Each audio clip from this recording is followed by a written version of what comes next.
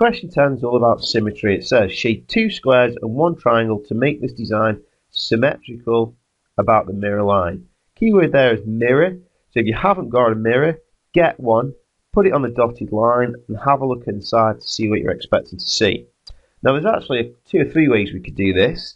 So the first way is to see what squares pair up on both sides of the mirror line. So this square is symmetrical to this square, so they pair up. This square doesn't have anything symmetrical yet, so if we go on the other side of the mirror line, this square would have to go there. And now this square can pair up with this one. Okay? This square hasn't got anything to pair up with. Now as you can see, this makes sort of like these three are joined together in like an R shape.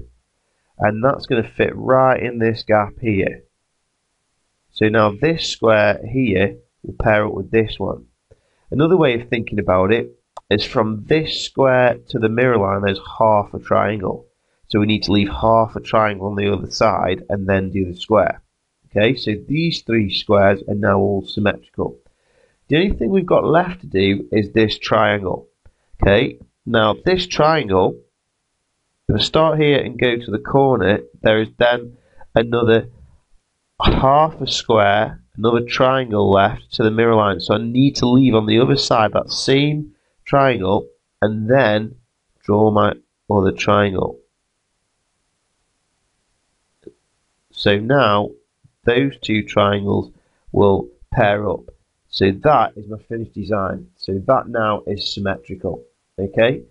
Put your mirror on the dotted line and double check that, that what you see inside the mirror is what we've drawn and hopefully it should be okay. Another way of doing it would be to get some tracing paper.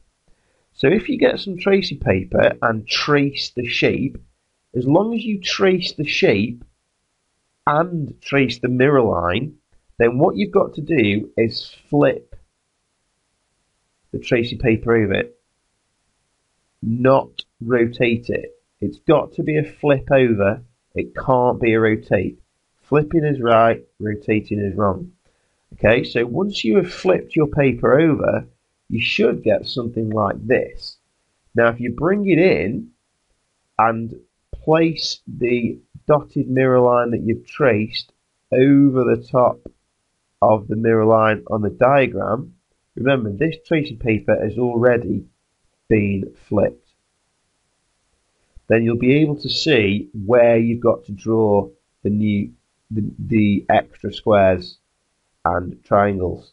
Okay, it's going to be a little bit tricky because what you'd have to do is peel the tracing paper up and carefully draw the two squares and the triangle in. But that's what you would see if you flip it over.